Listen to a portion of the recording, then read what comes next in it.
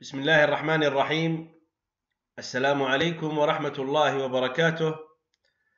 نرحب بكم ونحييكم مع درس من دروس النحو والصرف المستوى الخامس المسار الأدبي للصف الثالث ثانوي الفصل الدراسي الأول. وموضوع درسنا هو نوعاء التوكيد وهو التوكيد المعنوي وهو النوع الثاني من أنواع التوكيد. نتعرف على التوكيد ونوضح أنواعه ونبين الحكم الإعرابي للتوكيد المعنوي وكذلك نذكر ألفاظه ونميز بينهما وأيضا نبين شروط ألفاظ التوكيد المعنوي ونوظف ذلك في التعبير الكتابي والشفهي. نبدأ على بركة الله. نتذكر ما أخذناه في الدرس السابق وهو التوكيد اللفظي. نريد توكيد لفظي لفعل مضارع مرفوع. من خلال الصورة ماذا نقول؟ يلعب يلعب الأولاد في الملعب. أين التوكيد هنا؟ التوكيد هو ماذا؟ لفظ يلعب فعل مضارع يلعب هنا. جاء توكيدا لمن؟ للفعل المضارع الأول هنا. ونسميه توكيد لفظي وعرفناه بأنه ماذا؟ تكرار لفظي. نريد توكيد لفظي ويكون منصوبا. فنقول إن السماء السماء صافية. أين التوكيد هنا؟ التوكيد اللفظي هو السماء الثانية هي توكيد لمن؟ للسماء الأولى. وجاءت منصوبة لأنها ماذا؟ تابعة للمؤكد. السماء اسم إن منصوب. وهذه توكيد لفظي جاء منصوبا. توكيد لفظي مرفوع. فنقول الشمس الشمس مشرقة. فالشمس الأولى هنا جاءت مبتدأ مرفوع. والشمس الثانية جاءت توكيدا لفظيا مرفوعا. إذا نستنتج أن التوكيد هنا تابع للمؤكد في الإعراب رفعا ونصبا وجرا والتوكيد اللفظي يكون بتكرار اللفظ إما اسما أو فعلا أو حرفا أو جملة إلى آخر ذلك. ننطلق في درسنا اليوم. أمامك الآن ثلاث جمل. قارن بينها. سلمت على الملك وسكت. ولكن هنا سلمت على الملك نفسه. وسلمت على الملك عينه. هنا ما الفرق بين الجمل هنا؟ سلمت على الملك وسكت فقط. تدل على ماذا هنا؟ هل فيها توكيد؟ أم ماذا؟ فنقول هذه الجملة تحتمل أمرا. أنك قد سلمت على شخص آخر غير الملك. قد يكون ولي عهده أو مدير ديوانه. فهنا هذه الجملة ليست مؤكدة. لأنها عندما تقول سلمت على الملك فقط هنا كأنها تحتمل على ماذا؟ على أنك سلمت على ولي العهد أو مدير ديوانه. ولكن عندما أقول سلمت على الملك نفسه أو سلمت على الملك عينه فهنا أضفنا كلمة نفس وعين للدلالة على ماذا؟ على رفع احتمال أن يكون في الكلام مجازا أو سهوا أو نسيانا فأنا هنا أؤكد بأنني سلمت على الملك نفسه أو عينه فهذه الألفاظ ماذا أفادت؟ رفعت احتمال أن يكون هناك مجاز أو سهو أو نسيان في الكلام ونفس وعين نسميها ماذا هنا؟ من ألفاظ التوكيد المعنوي. نستنتج أن التوكيد المعنوي له ألفاظ خاصة به منها نفس وعين وسنتعرف على ألفاظ أخرى في الدقائق القادمة. طلاب المدرسة عامتهم مهذبون والطالبات جميعهن متفوقات. وتعرفت على ألفاظ التوكيد كلها وغرست النخلتين كلتيهما وجاء الطالبان كلاهما. لاحظ هنا الكلمات الملونة باللون الأحمر. لو قلت مثلا طلاب المدرسة مهذبون الجملة صحيحة. ولو قلت الطالبات متفوقات إذا يجوز أن نحذفها ولكن هنا ماذا أفادت عندما وضعنا كلمة عامتهم وجميعهن وكلها وكلتيهما وكلاهما هذه الكلمات الملونة بالأحمر والأحمر ماذا أفادت؟ ما الفائدة منها مع أنني يمكن الاستغناء عنها؟ هي ماذا؟ للدلالة على الإحاطة والشمول ما معنى ذلك؟ طلاب المدرسة عامتهم أي كلهم. الإحاطة والشمول. الطالبات جميعهن. ألفاظ التوكيد كلها. النخلتين كلتيهما الطالبان كلاهما. فهنا هذه الألفاظ جاءت للدلالة على الإحاطة والشمول. هذه الألفاظ نسميها ماذا؟ من ألفاظ من أي أنواع التوكيد هنا؟ الألفاظ الملونة باللون الأحمر نسميها من ألفاظ التوكيد المعنوي. إذا نضيف على ألفاظ التوكيد المعنوي نفس وعين نقول عامة وجميع وكل وكلتيه وكلا وكلتيهما. وكلا وكلتا وكذلك أجمع وما تصرف منها. هذه نسميها ماذا؟ من ألفاظ التوكيد المعنوي وأضيفت هنا للتوكيد وللدلالة على الإحاطة والشمول. بين الحالة الإعرابية للمؤكد والتوكيد. حضر المدير نفسه. التوكيد هو ماذا؟ نفسه. والمؤكد هو المدير. فنعرب المدير هنا جاء ماذا؟ مرفوعا بالضمة. ونفسه توكيدا تابعا له مرفوعا. إذا الحالة الإعرابية للمؤكد والتوكيد هي الرفع. سلمت على الضيوف جميعهم. هنا التوكيد جميع. والمؤكد هو الضيوف. ما إعراب الضيوف هنا؟ جاء اسما مجرورا. فجميع أيضا تابع له يكون ماذا؟ مثله مجرور. رأيت الطالبين كليهما. كليهما توكيد للطالبين. فالطالبين مؤكد وإعرابه هنا جاء ماذا؟ رأيت الطالبين مفعول به منصوب وعلامة نصبه الياء. إذن هو منصوب فالتوكيد سيكون مثله منصوب. نستنتج من ذلك ماذا؟ أن التوكيد مرفوع والمؤكد مرفوع وإذا كان المؤكد مجرور فالتوكيد مجرور مثله. وإذا كان المؤكد منصوب فالتوكيد أيضا تابع له. نقول يتبع التوكيد المؤكد في الإعراب رفعا ونصبا وجرا فنفس تابعة للمدير في الإعراب وجميع تابعة للضيوف وكليهما تابعة للطالبين. لو قلت هنا في الجملة حضر المدير نفسه قلت رأيت المدير ماذا؟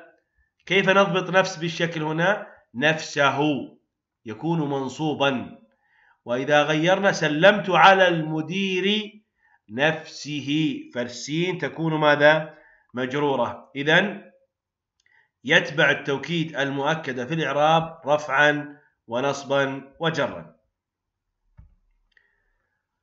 ألفاظ التوكيد المعنوي نفس وعين وجميع وكل وعامة وكلا وكلتا وأجمع. لها شروط حتى تعرب توكيدا. ما هو هذا الشرط؟ ننظر هنا حضر المدير نفسه. نقول هنا المؤكد والتوكيد. المعنوي المؤكد هو المدير ونفس هنا التوكيد. وأضجح الطلاب جميعهم. الطلاب هو المؤكد وجميعهم هو التوكيد. ورأيت الطالبين كليهما الطالبين المؤكد والتوكيد كليهما. ماذا تلاحظ الآن هنا؟ حضر المدير نفسه. لاحظ هنا الهاء. لماذا أتينا ووضعنا الهاء في نفسه؟ ولاحظ هنا جميعهم. جميعهم هنا ولم نقل جميعه. جميعهم تعود على من؟ على الطلاب. الطلاب جمع فالضمير المناسب لهم هم. وهنا الهاء هنا للمفرد المدير.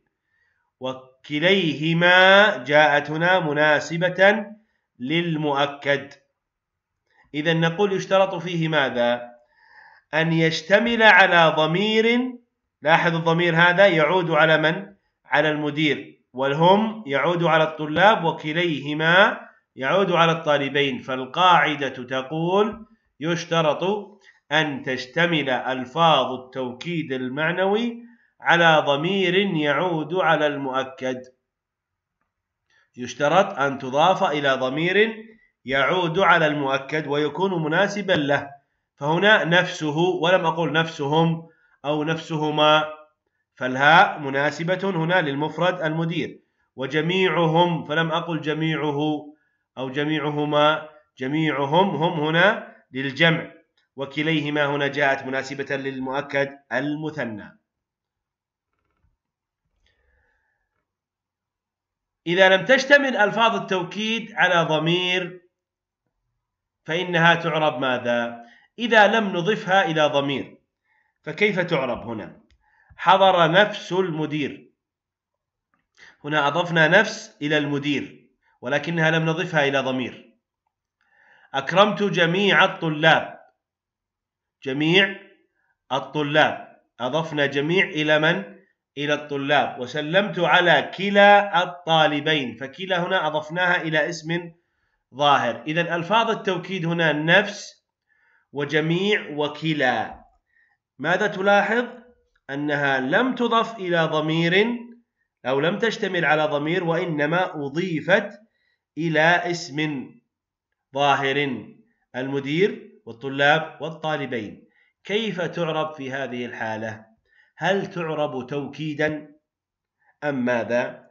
نأتي إلى نفس نقول حضر نفس المدير فنعربها ماذا؟ فاعل مرفوع بالضمة أكرمت جميع الطلاب هنا جميع تكون ماذا؟ مفعول به منصوب بالفتحة سلمت على كلا الطالبين الطالبين هنا جاءت ماذا أو عفوا كلا جاءت ماذا؟ اسم مجرور بالكسرة. إذا القاعدة تقول إذا لم تضف ألفاظ التوكيد أو لم تشتمل ألفاظ التوكيد على ضمير يعود على المؤكد فإنها تعرب ماذا؟ حسب موقعها في الجملة. وما بعدها المدير والطلاب والطالبين يعرب ماذا؟ مضاف إليه مجرور لأنها هنا أضيفت إلى اسم ولم تضف إلى ضمير. نلخص ما قلناه ألفاظ التوكيد المعنوي نفس وعين وعامة وكل وجميع وكلا وكلتا وأجمع وما تصرف منها. إذا اشتملت على ضمير يعود على المؤكد فإنها تعرب ماذا؟ تعرب توكيدا معنويا. وإذا لم تشتمل على ضمير يعود على المؤكد فإنها تعرب حسب موقعها في الجملة. ويمكن أن نقول إذا لم تضف هنا إذا لم تضف إلى ضمير وإنما أضيفت إلى اسم ظاهر أيضا نفس الكلام نفس القاعدة.